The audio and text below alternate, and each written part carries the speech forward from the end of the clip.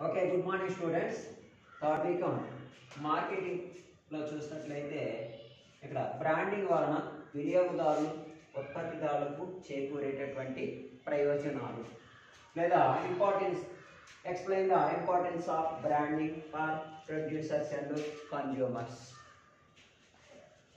అసలు మరి బ్రాండింగ్ వలన మనకి ఉండేటటువంటి ప్రయోజనాలు మనం చూసినట్లయితే ఇక్కడ రెండు రకాలైనటువంటి ప్రయోజనాలు ఉంటాయి. బ్రాండింగ్ వలన అటు వినియోగదారులకి అలాగే ఉత్పత్తిదారులకు కూడా ప్రయోజనం ఉంటుంది.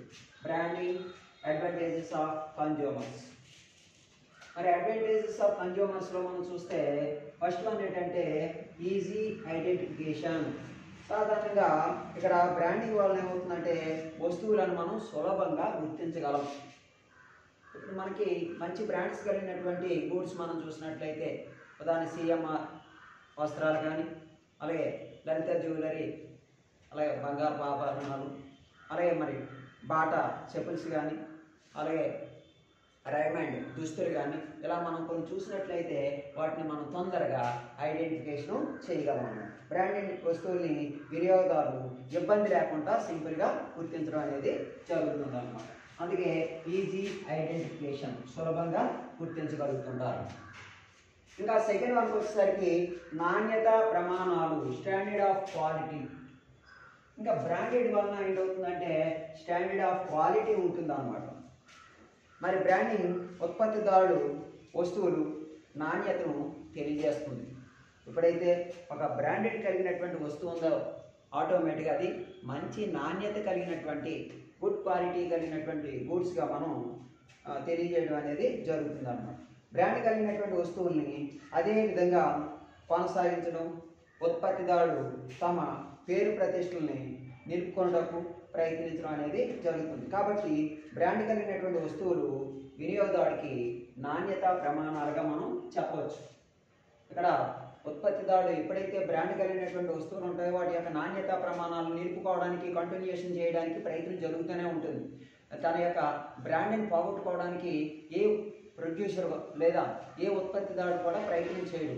కాబట్టి మరి మంచి నాణ్యత ప్రమాణాలు అనేవి ఉంటాయనేటటువంటి నమ్మకం వినియోగదారులో కలిగి ఉంటుంది. ఇంకా తర్వాత మనం చూసినట్లయితే వినియోగదారు యొక్క నమ్మకం. బిలీఫ్స్ ఆఫ్ కన్జ్యూమర్స్ వినియోగదారుల యొక్క నమ్మకము మరి first impression is a is the best impression కానీ మనకు ఒక సామెత ఉంది. మరి బ్రాండ్కి ఖచ్చితంగా ఈ సామెత అనేది వర్తిస్తుంది అన్నమాట ఒక బ్రాండ్ వస్తువుని మొదటిసారి ఒకరిని ఉపయోగించినప్పుడు కలిగినటువంటి అనుభూతి లేదా అభిప్రాయం వినియోగదారుడికి ఎల్లకాలం కూడా గుర్తుండడం అనేది జరుగుతుంది. ఎప్పుడైతే ఫస్ట్ వన్ తన జీవితంలో ఒక బ్రాండ్ కలిగినటువంటి వస్తువుని వినియోగదారుడు వినియోగించినప్పుడు మరి తన యొక్క జీవితాంతం కూడా ఆ బ్రాండు ఆ వస్తువు అనేది ఆయనకి మంచి గుర్తింపుగా ఉండిపోవడం అనేది జరుగుతుంది అన్నమాట కాబట్టి ఆ బ్రాండెడ్ వస్తువుల్ని ఆయన ఎప్పుడు కూడా మర్చిపోవడం అనేది జరగదు. అందుచేత ఎప్పుడు కొన్నా సరే మళ్ళీ ఆ వస్తువుకి ఇంపార్టెన్స్ ఇవ్వడం లేదంటే ఎవరికైనా పరిచయం చేసినప్పుడు కూడా ఆ బ్రాండ్ని వాళ్ళు పరిచయం చేయడం అనేది జరుగుతుంది అందుకే మరి బిలీఫ్స్ ఆఫ్ కన్జ్యూమర్గా మనం చెప్తుంటాం ఇంకా తర్వాత ఏంటంటే మానసిక సంతృప్తి.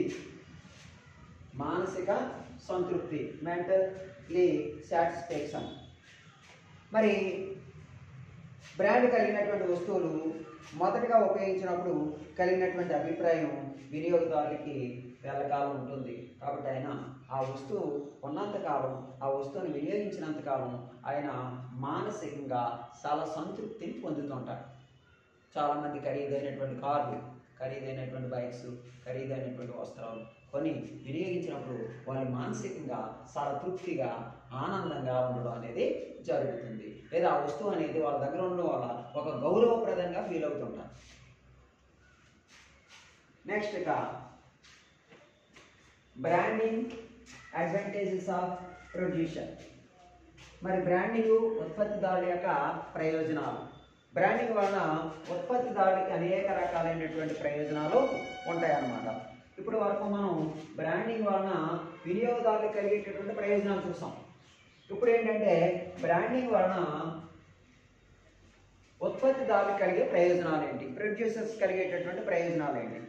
మరి బ్రాండింగ్ ప్రకటనలు పబ్లిసిటీకి మరి సహాయకారకంగా ఉంటాయన్నమాట.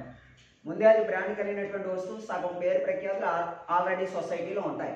దాంతోపాటు ఎప్పుడైతే పబ్లిసిటీ ఇచ్చారో ఆ పబ్లిసిటీ లేదా ఆ వస్తువు గురించి ప్రజలకు మరింత ఎక్కువగా తెలుస్తుంది. వినియోగదారులకు మరింత ఎక్కువగా తెలియడం అనేది జరుగుతుంది అనమాట మరి బ్రాండింగ్ వలన వస్తువు ఎంపికలో స్వేచ్ఛ అనేది కూడా ఉంటుంది.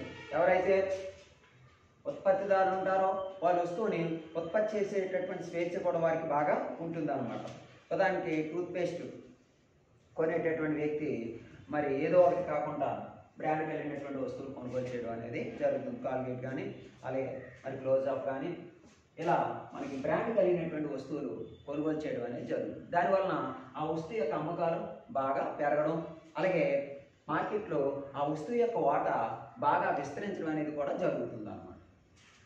నెక్స్ట్ మరొకటి మనం చూసినట్లయితే బ్రాండింగ్ ఎల్లప్పుడూ వస్తువుకి ప్రత్యేకతను ప్రత్యేక వ్యక్తిత్వాన్ని కలిగి కలిగించడం అనేది జరుగుతున్నాను బ్రాండింగ్ వల్ల ఏంటంటే ఆ వస్తువుకు ఒక స్పెషల్ గుర్తింపు స్పెషల్ ఐడెంటిఫికేషన్ అనేది వస్తుంది అనమాట ఇప్పుడు రిలయన్స్ ప్రోడక్ట్ కానీ టాటా ప్రోడక్ట్స్ కానీ గాద్రేజ్ ప్రోడక్ట్స్ కానీ ఇలా మనం కొన్ని ప్రోడక్ట్స్ మనం చూసినప్పుడు వాటికి ఒక బ్రాండ్ ఉండడం వలన వాటికి ఒక సొసైటీలో ఒక మంచి గుర్తింపు మంచి పేరు ప్రఖ్యాతులు అనేవి ఉంటుంటాయి అనమాట ఒక ప్రత్యేకత అనేది ఆ వస్తువుకి ఉండడం అనేది జరుగుతుంది అన్నమాట నెక్స్ట్ అంతేకాకుండా వస్తువుని సులభంగా గుర్తించడానికి బ్రాండ్ అనేది ఉపయోగపడుతుంది.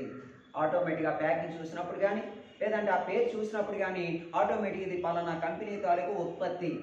ఇది చాలా క్వాలిటీ కలిగి ఉంటుంది లేదా మంచి మరి క్వాంటిటీ క్వాలిటీ అనేది ఇస్తుంది లేదా మంచి నాణ్యత అనేది ఉంటుంది అనేటటువంటి అభిప్రాయం వినియోగదారులో కలగడం అనేది జరుగుతుంది అనమాట కాబట్టి ఉత్పత్తిదారులు ఆయా వస్తువుల్ని మార్కెట్ చేయడం చాలా ఈజీగా ఉంటుంది మార్కెటింగ్ అనేది అది బ్రాండింగ్ లేదనుకోండి మార్కెట్ చేయడం చాలా కష్టం.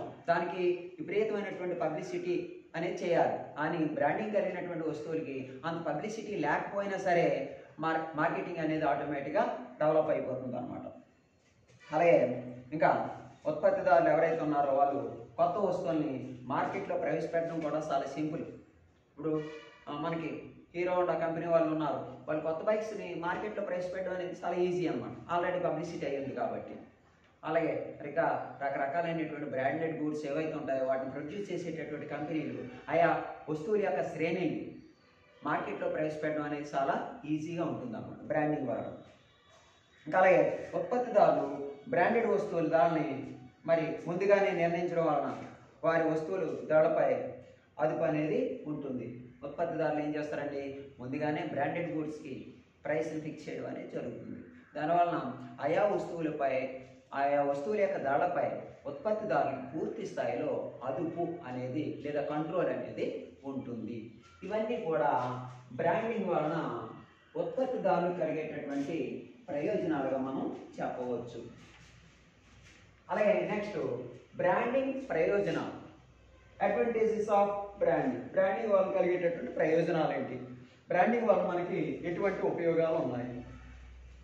మరి బ్రాండ్ వలన వినియోగదారులు క్రమంగా వారికి కావాల్సినటువంటి వస్తువుల్ని నాణ్యతను తేలిగ్గా గుర్తించేందుకు వీలుంటుంది అనమాట ఎప్పుడైతే ఒక వస్తువు బ్రాండెడ్ అయి ఉంటుందో ఆ వస్తువుని వినియోగదారులు గుర్తించడం అనేది చాలా ఈజీ.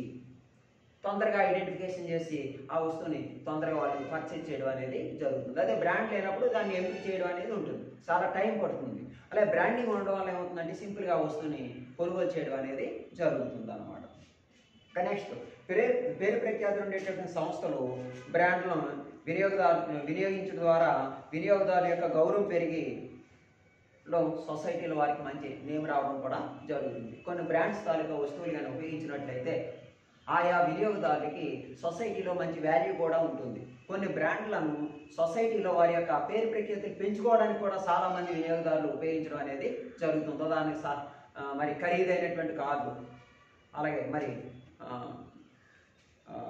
ఇంకా ఖరీదైనటువంటి వస్త్రాలు ఖరీదైనటువంటి బంగళాలు ఇవన్నీ కూడా మనకి దీనివల్ల కలిగేటటువంటి ప్రయోజనాలు. అంటే సొసైటీలో వారి యొక్క పేరు ప్రఖ్యాతులు పెంచుకోవడానికి కన్జ్యూమర్స్ వాటిని వినియోగించడం అనేది జరుగుతుంది అన్నమాట.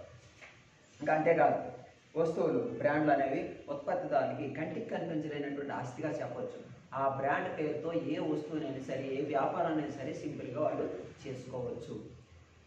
దానివలన ఇది కంటికి కనిపించినటువంటి ఆస్తిగా చెప్పొచ్చు. బ్రాండ్ని కంటికి కనిపించని ఆస్తిగా మనం చెప్పొచ్చు. సంస్థలు ఉన్నా లేకపోయినా బ్రాండ్ పేరు ప్రఖ్యాతులు మాత్రం శాశ్వతంగా ఉండిపోతుంటాయి. కొన్ని ఉత్పత్తులు సొసైటీలో లేకపోయినా సరే ఆయా పేర్లు మాత్రం ఈవెంట్ కూడా మనం మార్కెట్లో వింటుంటాం అలాగే ఇంకా బ్రాండ్ నమ్మకం విశ్వాసం వలన ఆయా సంస్థలు తమ వస్తు శ్రేణిని వస్తు మిశ్రమాన్ని తగిన విధంగా విస్తరించడానికి అవకాశం అనేది ఉంటుందన్నమాట. ఎందుకంటే ఒక బ్రాండ్ అనేది ఒకసారి ప్రజల్లో లేదా కన్జ్యూమర్స్లో బాగా నమ్మకం అనేది ఏర్పడినప్పుడు విశ్వాసం ఏర్పడినప్పుడు ఆయా సంస్థలు తమ వస్తు శ్రేణిని వస్తు శ్రేణి మిశ్రమాన్ని సులువుగా తేలిగ్గా మార్కెట్లో విస్తరించడానికి అవకాశం ఉంటుందన్నమాట.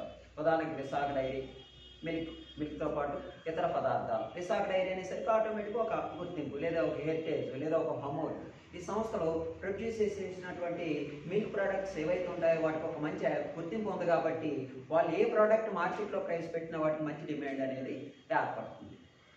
అలాగే ఇంకా ఇతర సంస్థలు కార్లు తయారు చేసే కంపెనీలు కానీ లేదా బైక్స్ తయారు చేసే కంపెనీలు కానీ ఆయా సంస్థలు ఎప్పుడైతే బ్రాండెడ్ ఉన్నాయో అవి కొత్త వస్తువుల్ని మార్కెట్లో సులువుగా ప్రవేశపెట్టి మార్కెటింగ్ని డెవలప్ చేయొచ్చు. నెక్స్ట్ మరి విడి భాగాల్ని కొనుగోలు చేయడాన్ని లేదా అదే వస్తువుని మళ్ళీ కొనుగోలు చేయాలన్న బ్రాండ్ పేర్లు మరి వినియోగదారునికి బాగా సహాయపడతాయి. మరి ఒక వస్తువు యొక్క స్పేర్ పార్ట్స్ కానీ లేదా అదే వస్తువుని కానీ మరలా మరలా కొనడానికి కూడా ఆ బ్రాండ్ అనేది వినియోగదారుని బాగా ఉపయోగపడడం అనేది జరుగుతుంది. బ్రాండ్ లేకపోతే మళ్ళీ కొత్త పార్ట్ లేదా కొత్త వస్తువు వెళ్ళాలి. దాని యొక్క మన్నిక అనేది ఆ వినియోగదారునికి తెలియకపోవచ్చు. కానీ ఇక్కడ బ్రాండ్ వలన ఏమవుతుందంటే ఆ స్పేర్ పార్ట్ కానీ లేదా న్యూ గూడ్స్ కానీ ఆ కొత్త వస్తువులు కానీ వాటి యొక్క మన్నిక అనేది ముందుగా తెలుస్తుంది కాబట్టి సింపుల్గా అయా వస్తువుల్ని తిరిగి వినియోగదారు కొనుగోలు చేయడానికి అవకాశం ఉంటుంది. ఇంకా నెక్స్ట్ బ్రాండ్ గురించి మార్కెట్లో ఏర్పడినటువంటి విశ్వాసం వలన వస్తువుల ధరలు పెరిగినా డిమాండ్ తగ్గదు. ఏవైతే బ్రాండెడ్ గూడ్స్ ఉంటాయో వాటి యొక్క ధరలు పెరిగినప్పుడు కూడా వినియోగదారులు ఉండేటటువంటి నమ్మకం వలన ఆ వస్తువుల యొక్క డిమాండ్ తగ్గదు. ఎంత ధర పెరిగినా సరే మరి వినియోగదారుడు తిరిగి మరలా అదే వస్తువును కొంటాడు తప్ప వేరే వస్తువును కొనడానికి ఇష్టపడరు కాబట్టి బ్రాండెడ్ గూడ్స్ యొక్క ధరలు పెరిగినప్పుడు కూడా వాటి యొక్క డిమాండ్ మార్కెట్లో తగ్గదు. Okay thank you